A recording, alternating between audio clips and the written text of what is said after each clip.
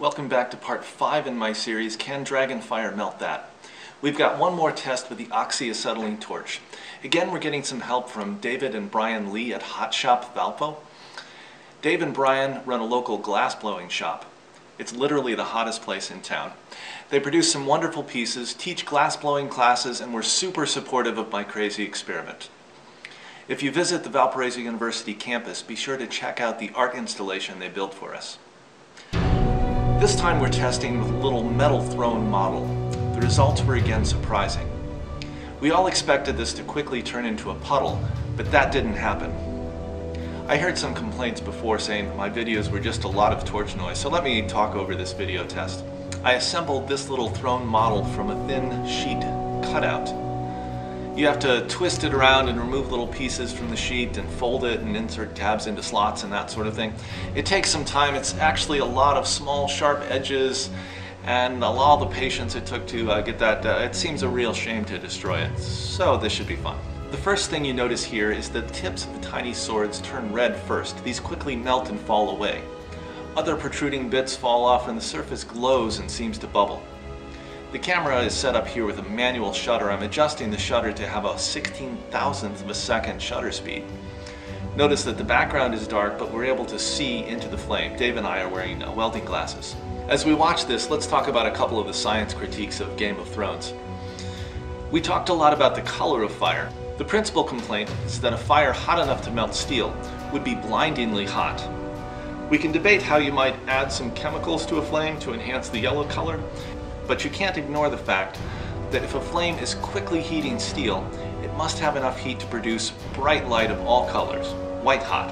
One viewer commented that perhaps the definition of color doesn't apply to a light source bright enough to quickly destroy your retina. And that's a valid point. It's a little like asking what fire smells like or does lava feel squishy.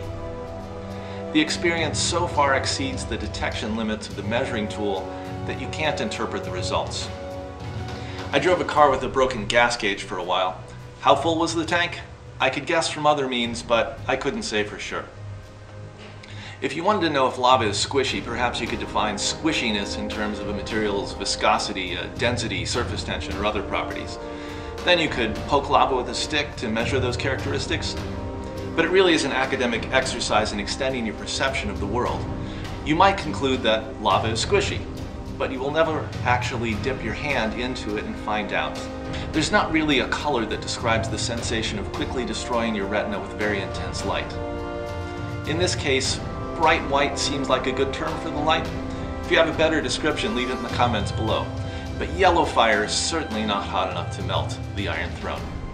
The second main critique of Game of Thrones is the amount of time it takes to bring steel up to its melting point.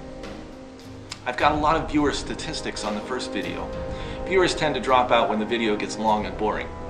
Two minutes of a video watching a flame slowly heat an object is boring, I'll admit. But that's also the point.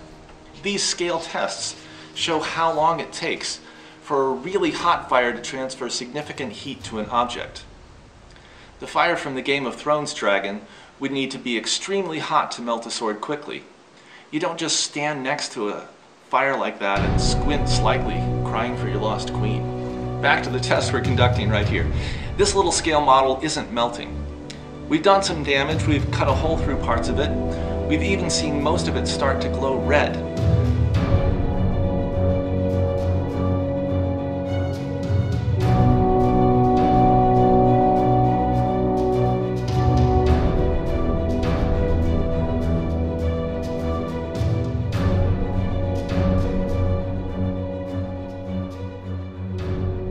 After the first burst of melting, it seems to have just stopped. What's going on here?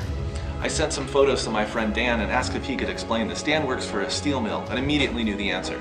He said, certain oxides are very cut resistant. Oxides formed by a torch that don't fall free are thermally resistant and can't be cut with heat. I'm using scrap oxides as heat shielding, he said. What exactly is this stuff? Well, I don't know. Iron oxides take many forms. We've got iron here, we've got carbon, there's oxygen, hydrogen, nitrogen from the air. Standard rust, F2O3, also known as iron 3, forms slowly when iron comes into contact with water. Uh, and it typically exists with lots of water molecules hanging onto it. But iron 3 can take other forms, including hematite and magnetite and a few other mineral forms. It can be red or orange or green or black. Some of these oxides are very heat resistant. And there may be other things present in the metal we started with, including chromium and nickel and copper, sulfur, and manganese. These are usually in stainless steel or might be plated on the steel. And the chemistry quickly gets very complicated. But we don't have to know what it is to see that it is very heat resistant. And when that heat resistant layer forms on the surface, you can see that the heat isn't getting through to the rest of the metal, the backside of the model, the, the different layers. So we have a new data point. Last time we saw that the thermal properties of glass cause it to simply shatter when you try to heat it quickly. Steel is much more heat resistant to these thermal stresses. But now we've found that heating steel very quickly can cause chemical changes to the surface that can block further heating.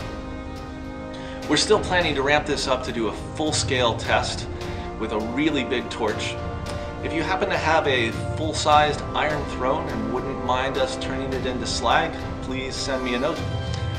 Or maybe some farmer out there has an inclination to build an iron throne using uh, scrap uh, disc plow or some cultivator tines. If we can't find a real throne, we're on the lookout for a cast iron bathtub that could serve as a stunt double for the iron throne. Oh, and don't try this at home. Come over to my house.